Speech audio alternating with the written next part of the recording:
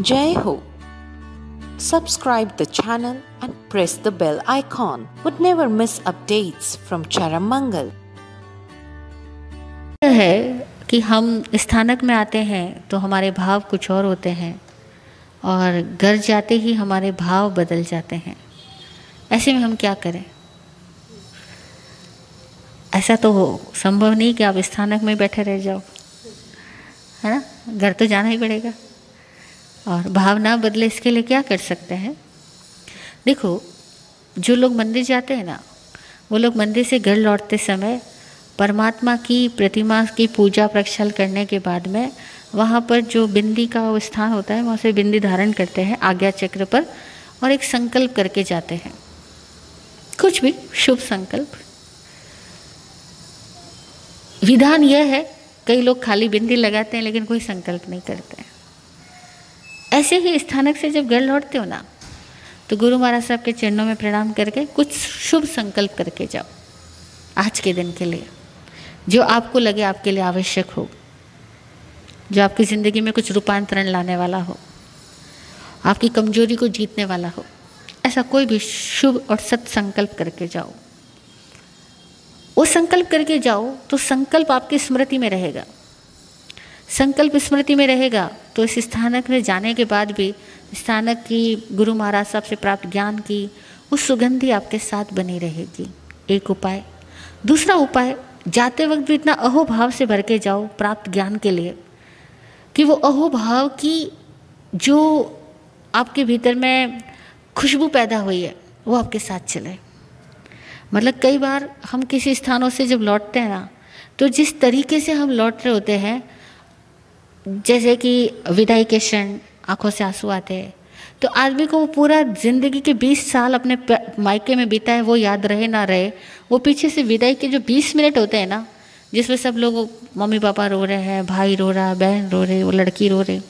तो उसको ससुराल जाने के बाद में पता है, वो पिछले 20 साल कम और वो विदाई के 20 मिनट ज़्यादा याद आते हैं, है ना? हमने देखा, कई लोग जब गुरुदेव के पास से दूर जा रहे होते हैं तो उनके भीतर भी उतना ही दुख होता है, दर्द होता है, एक विदाई का आँसू होता है और इतना ही अहोभाव होता है, कृतज्ञता होती है कि मैं किस्मत वाला हूँ कि मुझे गुरु के दर में बैठने का मौका मिला। भाग्यशाली हूँ कि मैं यहाँ आ सका। ये कोई कम भाग्य की बात नहीं है कि हम गुरु के दर पे बैठ सके। हम चुने गए हैं तो यहाँ तक पहुँचे। नहीं तो नहीं पहुँच सकते थे। लाखों लाखों लोग हैं, जो गुरु की दृष्टि में आते ही नहीं है। उनके अपने भीतर का गिल्ट ही उनको आने नहीं देता। अपराध बोध होता है भीतर में। हम पापी है, हम दुर्जन है, हम गलत काम करते हैं, हम कैसे उनके सामने जाएँ? क्योंकि डर भी होता है, क्योंकि गुरु तो सब कुछ जान लेगा। वहाँ तो देखते ही एक्सरे मशीन है, वो तो अंदर तक पहुँच जाएगा। तो गुरु के सामने आने में कितने लोग तो डर ही रहे होते हैं। लज्जा आती है उनको। नहीं पहुँच पाते इस दर तक। इसीलिए अगर आप आ पाए हो, हम आ पाए हैं तो हम इस बात के लिए कृतज्ञता महसूस करें। कितने जन्मों तक हम नहीं आ पाए थे। फील करो उस धन्यता को। कि मैं आ पाया है, मैं चुना गया, मुझे बुलाया गया। और जब जाओ ना तो उतनी ही धन्यता के साथ गुरु को प्रणाम करके, भाव करके जाओ ये गुरुदेव, आप अपने अतिशय आभा वलय के साथ, आप आगम वाणी की भव्यता के साथ मेरे हृदय में वास करना। मैं चाहे कहीं भी रहूँ, पर मैं हूँ आपके शरण में। इसलिए देखो, जाते समय मंगल पाठ बोला जाता है। है ना? और मंगल पाठ में प्रतिज्ञा करता है व्यक्ति। एक्चुअली मंगल पाठ सुनने का नहीं होता, खुद बोलने का होता है। क्योंकि इसमें आप संकल्प कर रहे होते हो। चतारी शरणम पवज्झा में मैं चार की शरण में प्रव्रजित होता हूँ। प्रव्रजित होता हूँ मतलब समर्पित होता हूँ। चार की शरण को जाता हूँ। अरहन सिद्ध साधु और केवली प्ररूपित आगमवाणी की शरण में मैं अपने आप को समर्पित करता हूँ। तो यहाँ शिष्य का भाव क्या होता है? कि गुरुदेव, आवश्यक कार्य के पालन के अर्थ के लिए, आवश्यक कार्य पालनार्थ, मुझे इस देह से यात्रा बाहर तो करनी पड़ेगी। मजबूरी है। इसीलिए जाते वक्त शिष्य क्या बोलता है? अवश्य ही अवश्य ही अवश्य ही। आवश्यक है आवश्यक है आवश्यक है।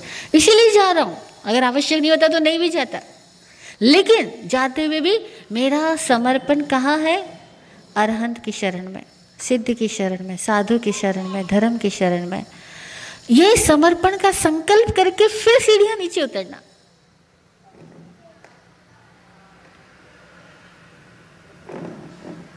कि मैं पूर्णतः समर्पित हूँ।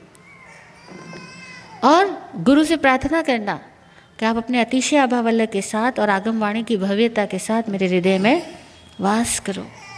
आप सतत मेरे साथ रहो। और ऐसा करके गुरु चरण रज को अपने मस्तक पे धारण करना और महसूस करना कि गुरु की आज्ञा मेरा मार्गदर्शन करे। गुरु की वाणी, गुरु का ज्ञान मेरा आज्ञा चक्र पर विराजमान रहे। ऐसा महसूस करते हुए जितने भावों से भर के आप यहाँ से जाओगे ना तो आपका शरीर बाहर जाएगा, लेकिन आपकी चेतना गुरु से कनेक्ट रहेगी। जैसे वो मोबाइल रेंज क्षेत्र क्षेत्र में रहता है तो रेंज पकड़ता है। है ना? नेटवर्क क्षेत्र से बाहर चला जाता है तो रेंज पकड़ना बंद कर देता है। तो नेटवर्क क्षेत्र में रहो। बाहर आप जाओगे, लेकिन आप नेटवर्क क्षेत्र में रहना। और तब क्या होगा? गुरु के भीतर की अवस्थाएँ आपको लगातार प्रभावित करती रहेगी। गुरु का ज्ञान आपके अंदर प्रकट होता रहेगा।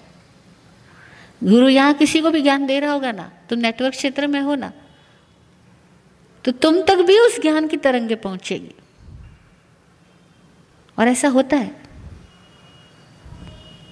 और तुम वहाँ से वंदन करोगे ना, दूर बैठ के भी, वो भी गुरु तक पहुंचेगा। इनकमिंग आउटगोइंग दोनों चालू रहेगी। कनेक्शन बना रहेगा। पर कब? जब तुम नेटवर्क क्षेत्र में रहोगे, उस रेंज में रहोगे। जब बोल के जाते हो ना, अरहंते शरणम पवज्जामी। वाकई होवे। अभी तो खाली बोलते। हमारे पास क्या रह गया? शब्द रह गए। परिपाटियाँ रह गई। लेकिन उसके अर्थ और प्राण खो गए। शब्द बोल रहे हैं हम, लेकिन अर्थ खो गए। परिपाटियाँ रह गई, लेकिन उसके प्राण खो गए। कोई बात नहीं, वापस जीवित कर लो। विराट गुरु जी कहते थे, अभी कुछ बुरा हुआ थोड़ी है। जब जागे तभी सवेरा। इसी क्षण से वापस शुरू कर लो। कि जब बाहर निकलने लगो ना, उसके पहले जो मंगल पाठ सुनते हो ना, उस मंगल पाठ को सुनो मत, खुद कहो। प्रतिज्ञापूर्वक कहो संकल्प पूर्वक कहो भाव पूर्वक कहो हृदय पूर्वक कहो कि मैं अरहंत की शरण में समर्पित हूँ, सिद्ध की शरण में समर्पित हूँ। साधु की शरण में समर्पित हूँ।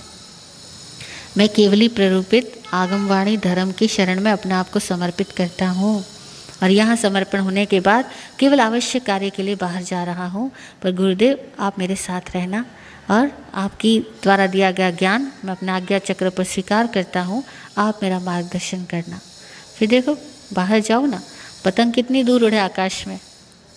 उसकी डोर गुरु के हाथ में रहनी। वो भजन गाते ना लोग? सतगुरु मैं तेरी पतंग, सतगुरु मैं तेरी पतंग, हवा विच उड़ती जावांगी, हवा विच उड़ती जावांगी। साइया डोर हथू छड़ी ना मैं कटी जावांगी। है ना? ये मेरे साई डोर अपने हाथ से छोड़ना नहीं। छोड़ोगे तो कट जाऊँगी, गिर जाऊँगी। तो सदगुरु, मैं तेरी पतंग हवा भी जुड़ती जाऊँगी। गृहस्थ में जाना तो पड़ेगा ना? गृहस्थ की हवा में उड़ना भी पड़ेगा। हाँ बिज़नेस भी करना पड़ेगा, बच्चे भी पालने पड़ेंगे, घर का काम भी करना पड़ेगा, ताने भी सुनने पड़ेंगे। सब कुछ करना पड़ेगा। तो बोलो, सदगुरु, मैं तेरी पतंग हवा भी जुड़ती जावांगी पर डोर हत्तू छड़ी ना। हे गुरुदेव, अपने हाथ से डोर मत छोड़ना। अपने पास बनाए रखना, है ना? इस भाव से भर के जाओ। तो वो जितनी भावना से भर के आप यहाँ से जाओगे तो उतना ही तुम यहीं पर अपने आप को बार बार पाओगे। जय हो।